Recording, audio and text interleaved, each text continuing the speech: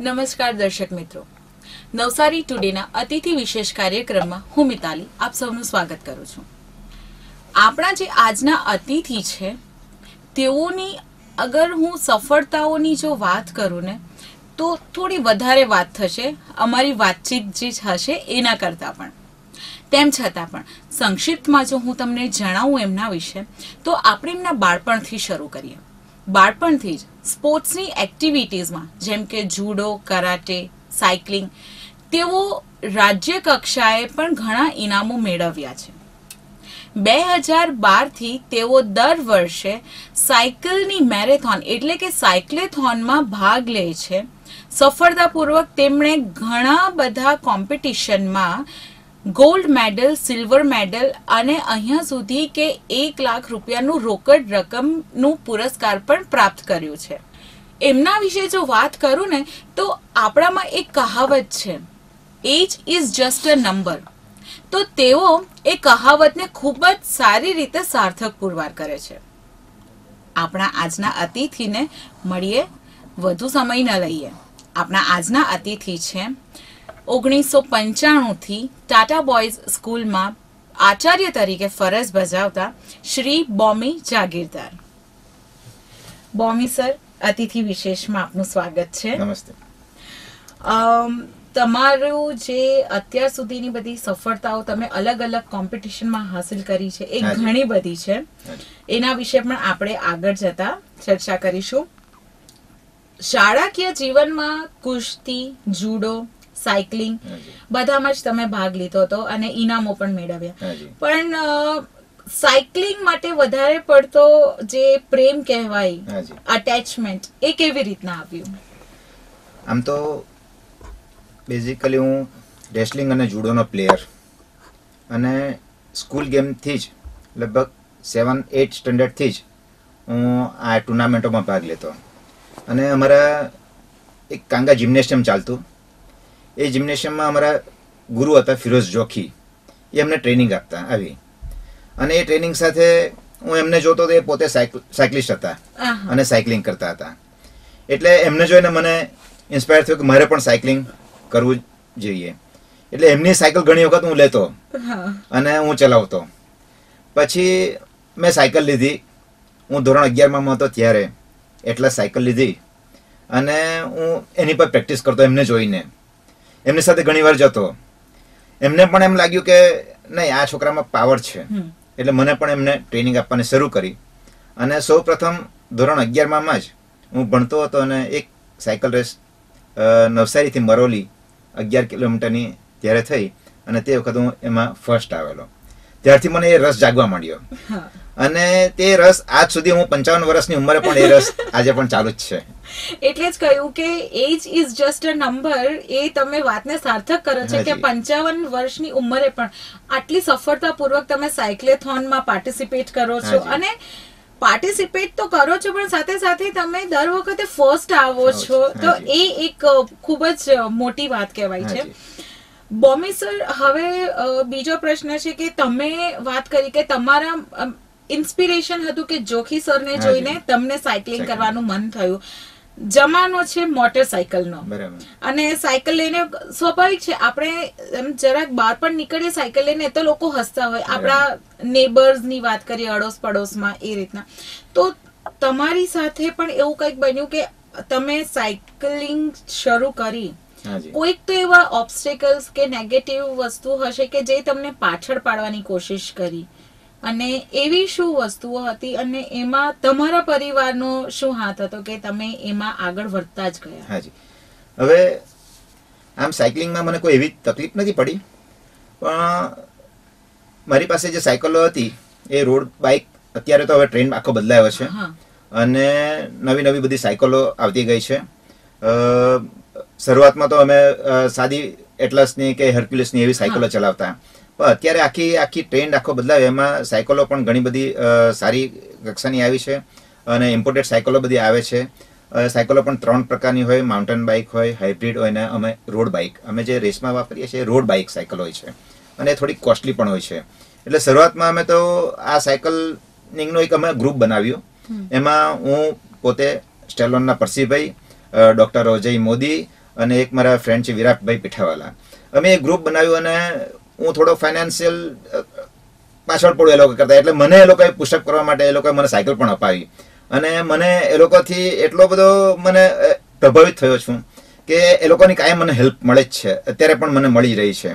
અને મારા ફેમિલીમાં પણ મને, ધારો કે મારે પ્રેક્ટિસમાં જવું હોય અને પાંચ છ કલાક હું બહાર હોઉં, તો મને ફેમિલીનો પૂરો સપોર્ટ મળે છે.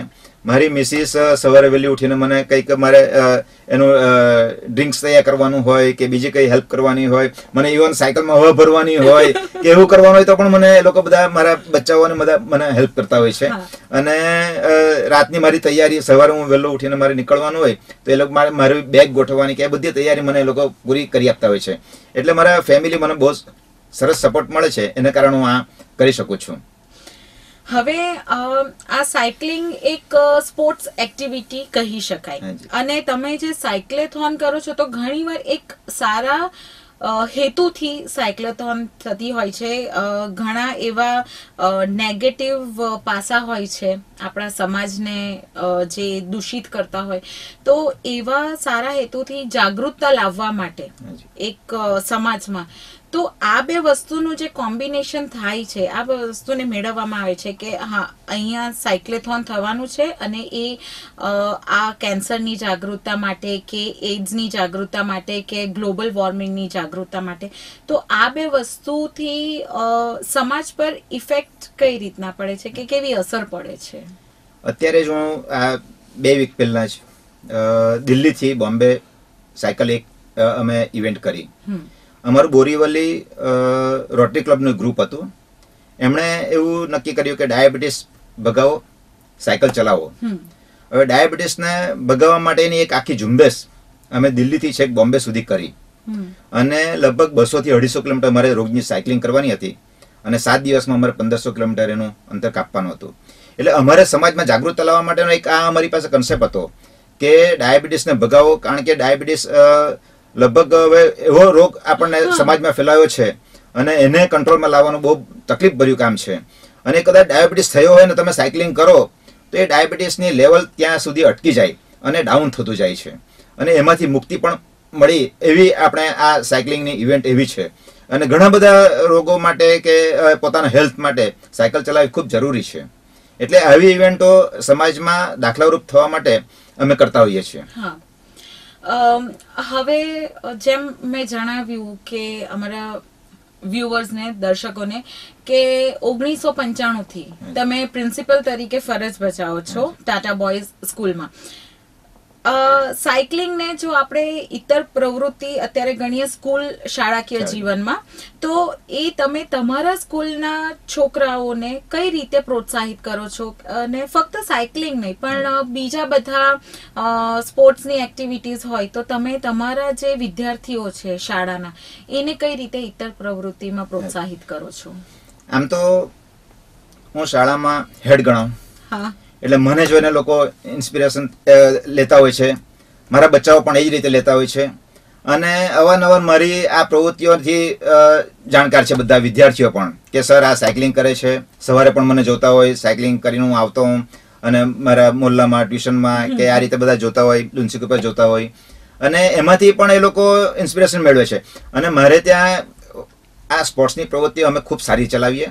હોકી બાસ્કેટબોલ કબડ્ડી, ખોખો, કુસ્તી, જુડો વેટલિફ્ટિંગ બોડી બિલ્ડિંગ આ બધી અનેક પ્રવૃત્તિ અને બોક્સિંગ આ બધી પ્રવૃત્તિઓ અમારે ત્યાં આખો વર્ષ દરમિયાન થતી જ હોય. અને એ ખાલી પ્રવૃત્તિ પૂરતી નહીં, પણ એના માટે અમે છોકરાઓ તૈયાર કરીએ. એના માટે અમે ડિસ્ટ્રિક્ટ રાજ્ય અને નેશનલ કક્ષાએ અને ઇન્ટરનેશનલ કક્ષાએ પણ અમે આ છોકરાઓને પહોંચાડવાના માટેના પ્રયત્નો કરતા એટલું જ નહીં, પરંતુ અમે આ છોકરાઓ ધોરણ ધોરણ બાર પાસ થયા પછી એને કઈ કોલેજમાં મૂકવા? ધારો કે અમારી હોકીની ટીમ છે કે કબડ્ડીની ટીમ છે એક જ કોલેજમાં દાખલ થાય અને જ્યારે યુનિવર્સિટીનું સિલેક્શન હોય તો એ જુદી જુદી બધી કોલેજોમાં હોય તો જુદી જુદી કોલેજોમાંથી સિલેક્શન થઈને એક આખી ટીમ બનતી હોય. અમારા વચ્ચેના વર્ષોમાં એવું હતું કે અમારી યુનિવર્સિટીની ટીમ બનતી તેમાં બધી કોલેજોમાંથી સિલેક્શન થતું તો અમારી ટાટા સ્કૂલના છોકરાઓ બધા અંદર આવતા હોય. એટલે આ રીતે અમે એની વહેંચણી પણ કરતા હોય કે તમારે કઈ કોલેજમાં જવાનું તારે તું હોકીનો પ્લેયર છે તો તારે બિલ્લીમોરા જવાનું તું વેટ લિફ્ટિંગનો પ્લેયર છે તારે ગાડા કોલેજમાં જવાનું. આ રીતે એની પણ અમે એ કરીને એ લોકોને ગાઈડ કરતા અને ઘણા બધા વિદ્યાર્થીઓ આ રીતે ખૂબ ઊંચી લેવલે છે. અમ, હવે તમે જ્યારે અમે તમારા વિશે જાણવા માંગતા હતા તો અમને એ પણ જાણવા મળ્યું કે વેઇટ લિફ્ટિંગ જુડો કરાટે આપણા નવસારી ડિસ્ટ્રિક્ટનું જે એસોસિએશન છે એમાં તમે એક ટ્રસ્ટી તરીકે પણ ફરજ બજાવી રહ્યા છો. તો સાયક્લેથોન સિવાયની આ જે બીજી બધી પ્રવૃત્તિ છે. એમાં તમે કઈ રીતે સમય ફાળવો છો? કારણ કે તમારી એક આખી બિઝી લાઈફ શિડ્યુલ છે. તો પરિવાર સમાજ સ્કૂલ અને સાથે સાથે આ બધી પ્રવૃત્તિઓ. તો એક માણસ એમ બધી જગ્યા પર વેચાઈ જતો હોય છે તો તમે કઈ રીતે તમે આ બેલેન્સ જાળવી રાખો છો? આજે હવે લોકોને આપણે કોઈ ડોક્ટરે કહ્યું હોય કે ભાઈ તમારે આટલી એક્સરસાઇઝ કરવી જોઈએ. મોર્નિંગ વોક કરવું જોઈએ કે રનિંગ કરવું જોઈએ કે જીમ કરવું જોઈએ લોકોનો એક જ પ્રશ્ન કે મારી પાસે ટાઈમ ક્યાં છે? હવે હું ટાઈમ એ રીતે કાઢું છું કે હું છેલ્લા પંદર વર્ષથી પોણા ચારે ઉઠું છું સવારે. પોણા ચારે ઉઠીને હું મારી પ્રાણાયામ કરું. બ્રિધિંગ એક્સરસાઇઝ દોઢ કલાક સુધીની એક્સરસાઇઝ કરું છું. બ્રિધિંગની પ્રાણાયામની કરું છું. એટલે મારું બ્રિધિંગ પાવરફુલ છે. અને પછી હું સાયકલિંગ કરવા જાઉં, સાઠ સિત્તેર કિલોમીટર સાયકલિંગ કરું. બિલીમોરા જાઉં, બારડોલી જાઉં, વાંસદા જાઉં, વલસાડ જાઉં. અને ઘણીવાર સાપુતારા પણ પહોંચી જાઉં. આ રીતે હું સાયકલિંગ કરતો હોઉં છું. એનો મને થાક નથી. અને મારા ઘરમાં મારો પરિવાર સવારે ઉઠીને કંઈ પ્રવૃત્તિમાં જોડાય તે પહેલાં તો હું પાછો આઠ વાગે આવી જાઉં. અને મારી રોજની પ્રવૃત્તિ હું કરી જાઉં, મ- ધોવાનું અને પછી સ્કૂલે નવ વાગે સાડા નવ, મારી સાડા અગિયાર સ્કૂલ ચાલે તો પણ હું સાડા નવે સ્કૂલમાં દાખલ થઈ જતો હું છું. અને આ રીતે હું ટાઈમ કાઢું છું. એટલે આપણે સવારે વહેલા ઉઠીએ તો કોઈ માણસ એવો નથી મળતો કે કોઈ એની કદાચ આખી જિંદગીમાં ફરિયાદ કરી હોય એની. અને છેલ્લા પંદર વર્ષથી હું આ બધું કરું છું. મને કોઈ દિવસ કોઈ બીમારી થઈ નથી. નથી પ્રેશર મને ડાયાબિટીસ નથી, મને પંચાવન વર્ષની ઉંમરે ચશ્મા પણ નથી આવ્યા અને કદાચ મને કશું થશે પણ નહીં. અને મેં આટલા વર્ષોમાં કોઈ દવા લીધી નથી, મને કોઈ માંદગી નથી આવી, મને કોઈ શરદી થઈ નથી, મને ખાંસી થઈ નથી કે મને કોઈ ફીવર નથી આવી આટલા છેલ્લા પંદર વર્ષમાં. એટલે આપણે પ્રવૃત્તિમય રહીએ તો એને એ માંદગીનો ચાન્સ જ નથી રહેતો. અને આપણે આજે ડૉક્ટર પાસે જઈએ તો આપણે શરમાવવું જોઈએ કે મને, મારે ડૉક્ટર પાસે જવું પડ્યું. એની શરમ આપણને લાગવી જોઈએ. કે આપણે આપણે પોતાની હેલ્થને સાચવી શકીએ તો કેમ કરી શકીએ? ખૂબ જ સરસ છે. તો હવે આ વાત પરથી મને એક બીજો પ્રશ્ન ઉત્પન્ન થાય છે કે સાયક્લેથોન તો તમે સાયકલિંગની વાત તો કરી કે સાયકલ લઈને જ્યાં તમારી ઈચ્છા થાય ત્યાં તમે નીકળી નીકળી પડો છો. તો આના માટે તમે શારીરિક અને માનસિક તૈયારી કઈ રીતે રાખો? મતલબ જરૂરી તો નથી કે તમે ફક્ત સાયકલિંગ જ કરતા. એ સિવાય તમે આ સાયકલિંગ માટે પોતાને તૈયાર કરવા માટે શું કરો છો? મેં એ જ કહ્યું છે કે હું પોણા ચારે જ્યારે ઉઠું ત્યાર પછી હું દોઢ કલાક સુધી પ્રાણાયામ કરું છું. બ્રિધિંગ એક્સરસાઇઝ કરું છું. એમાં મને ફિઝિકલી તો મને ફાયદો રહે જ છે પણ ફિઝિકલી મેન્ટલ ઇમોશનલ અને સાયકિક આ બધા મને ફાયદા પણ ઘણા બધા થયા છે. આ છેલ્લા પંદર વર્ષથી હું કરું છું. અને હું એવું નથી કે આજે કરી અને બે દિવસ ગેપ પડ્યો. છેલ્લા પંદર વર્ષથી હું તમને કહું, તમે કદાચ માનશો નહીં, પણ એક પણ દિવસ એવો નથી ગયો કે મેં આ એક્સરસાઇઝ નહીં કરી હોય, છેલ્લા પંદર વર્ષમાં. એટલે આ એની આ સ્પોર્ટ્સથી એક નિયમિતતા આવે છે એક ડિસિપ્લિન આવે છે. એટલે આ બધા એના બધા ફાયદા છે. અને લોકોએ પણ આવું જરૂરી છે કે પોતા ટાઈમ કાઢીને રોજ કરવું જરૂરી છે. અ, બોમી સર હવે બીજું એ જાણવું છે કે આપણા તમે ડાયાબિટીસની અત્યારે વાત કરી કે સત્યાવીસ જાન્યુઆરી થી બીજી ફેબ્રુઆરી સુધી. તમે દિલ્હી થી મુંબઈ સુધી સાયક્લેથોન કર્યું. ડાયાબિટીસ ના પર જાગૃતતા આવે સમાજમાં. એ સિવાય એવા બીજા કયા નબળા પાસા છે કે એવી કઈ બીમારીઓ છે કે નેગેટિવ પોઈન્ટ્સ છે આપણા સમાજમાં? કે જેના વિશે આપણે જાગૃતતા લાવવી જોઈએ અને એક વરિષ્ઠ નાગરિક તરીકે તમે પણ શું એવા વિચાર રાખો છો કે એવી કઈ બાબતોમાં આપણે જાગૃતતા લાવવી જોઈએ? અત્યારે મેઇન જે સમાજમાં આપણે જોઈએ છે એ લગભગ ડિપ્રેશનનો મોટો મોટો મોટો એક ક્વેશ્ચન છે. લોકો મોટે ભાગે લોકો ડિપ્રેશનમાં જતા રહેતા હોય છે. માનસિક તાણમાં અને વારંવાર ગુસ્સા થઈ જતા હોય પોતાના પર કાબુ ગુમાવી દેતા હોય તો એના માટે આ જરૂરી છે. આ સ્પોર્ટ્સ જરૂરી છે અને એની સાથે આ પ્રાણાયામ પણ જરૂરી છે. એ કરવું જરૂરી છે. મારું એવું માનવું છે. ઓકે અને બોમી સર અંતમાં હવે મારે એ જાણવું છે તમારા પાસેથી કે તમારા પોતાના શું વિચારો છે? આ સમાજમાં જે બધા અલગ અલગ વિષયો પર આ મેરેથોન કારણ કે તમે તો મેરેથોનમાં પણ દોડ્યા છો અને જીત્યા છો. તો જે અલગ અલગ પ્રોગ્રામો થતા હોય છે તો આ પ્રોગ્રામો કરવા કેટલા જરૂરી છે? અને એ કેટલા અંશ સુધી સફળ થાય છે? એ તમારા વિચારો શું છે? આ પ્રોગ્રામો જરૂરી એટલા માટે છે કે સ્પોર્ટ્સ સાથે જો સંકળાયેલી વસ્તુ હોય તો લોકો તેને તરત એક્સેપ્ટ કરતા હોય છે. ધારો કે આ સાયક્લોથોન અમે કરી તો સમાજ જોતો હોય કે આ દિલ્હીથી મુંબઈ સુધી સાયકલ ચલાવી અને શાના માટે ચલાવી એમ. તો એનો એક કોન્સેપ્ટ અમે જે નક્કી કરેલું કે ભાઈ ડાયાબિટીસ ભગાવો તેના માટેની જાગૃતતા લોકોમાં ઘણી બધી આવતી હોય છે આના કારણે. અમે સાદી હવે આપણે કોઈ સભા ભરીને એમ કહે કે ભાઈ ડાયાબિટીસને આપણે ભગાવવા માટે આટલું આટલું આટલું કરવું જોઈએ તો તે કદાચ મગજમાં નહીં ઉતરે. પણ અમે કરીને જ્યારે બતાવીએ ત્યારે ખરેખર સમાજ પર ખૂબ સારી એની અસર પડતી હોય છે. બોમી સર તમે આજે અમારા અતિથિ વિશેષમાં આવ્યા અને તમે આજે સાયકલિંગ અને ફક્ત સાયકલિંગ નહીં પણ આ જે જાગૃતતા પણ લાવવી સમાજમાં એ વિશે જે તમે ચર્ચા કરી એ બદલ અમારા નવસારી ટુડે ચેનલ તરફથી તમારો ખૂબ ખૂબ. આભાર. અને અમે આશા રાખીએ કે તમે આગળ પણ આવી રીતના ઘણા બધા ગોલ્ડ મેડલો તમારું ઘર ગોલ્ડ મેડલોથી ભરાઈ જાય. અને આગળ જતા પણ તમે જે રીતે નવસારીને એક ઉપરના લેવલ પર લઈ ગયા છો આટલા વર્ષોમાં ઇન ફ્યુચર પણ તમે નવસારીનું નામ વધારે ઊંચું કરો. થેન્ક યુ તમારો ખૂબ ખૂબ આભાર. થેન્ક યુ આપણા આજના અતિથિ વિશેષ શ્રી બોમી જાગીરદાર. સાયકલિંગ અને સાયક્લેથોન સાથે તો એમનું નામ છેલ્લા ઘણા વર્ષોથી જોડાયેલું જ છે. પણ સાથે સાથે એમની વાત જો કરું તો તેઓ બીજી સ્પોર્ટ્સ એક્ટિવિટીઝ, જેમ કે જુડો, કરાટેમાં પણ એટલા જ એક્ટિવ છે.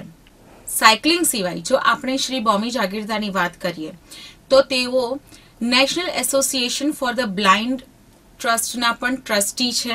સાથે સાથે ટ્રાફિક બ્રિગેડ એટલે કે ટ્રાફિક એજ્યુકેશન ટ્રસ્ટના પણ તેઓ ટ્રસ્ટી છે.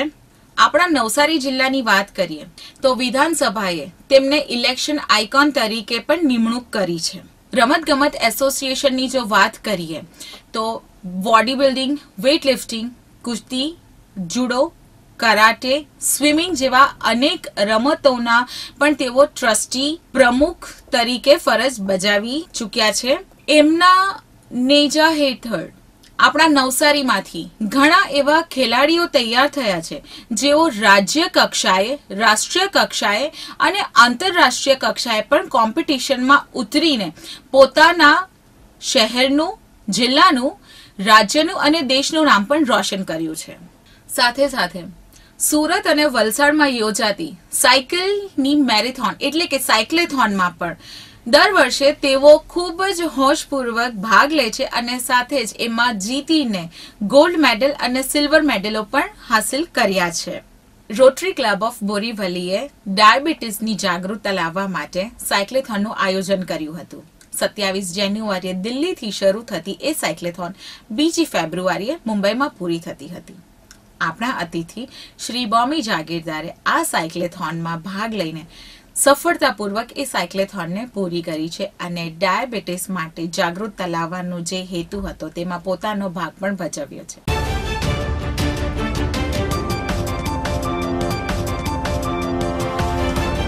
બોમી સર સાથે સાયકલિંગની વાતો તો કરી, પણ સાથે સાથે એક બીજા શબ્દનો પણ ઉચ્ચારણ થયો અને એ હતો મેરેથોન. મેરેથોન એટલે આપણે કોઈક દોડમાં ભાગ લઈએ. બોમી સરની વાત કરું, તો તેમણે નવસારીથી દિલ્હી સુધીની જે મેરેથોન હતી, તેમાં પણ ભાગ લીધો હતો અને સફળતાપૂર્વક એ મેરેથોનને પૂરી પણ કરી હતી. આપણા અતિથિ શ્રી બોમી જાગીરદાર સાથે વાત કરીને આપણે એ પણ જાણ્યું કે સમાજમાં આ રીતે પણ આપણે જાગૃતતા લાવી શકીએ અને સમાજની જે બધી નબળાઈઓ છે, તેને આપણે નાબૂદ કરી શકીએ છીએ. હું એવું તો નથી કહેતી કે આપણે એમના જેવું જ બનવું છે, પણ હા થોડું એમના તરફથી પણ આપણે પ્રેરણા લઈને થોડું પણ એમના જેવું બનવાની કોશિશ કરીએ, તો આપણે પણ એક સાચા અને સારા રાસ- રસ્તા પર આગળ વધી શકશું. આજના અતિથિ વિશેષમાં હું મિતાલી આપ સૌની રજા લઉં છું અને આવતા રવિવારે આપણે ફરીથી એક નવા અતિથિ સાથે મુલાકાત કરીશું. ત્યાં સુધી મને રજા આપશો.